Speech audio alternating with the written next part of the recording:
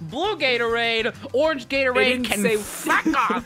Yellow Gatorade can go to hell. Red Gatorade, don't even talk to me at my party.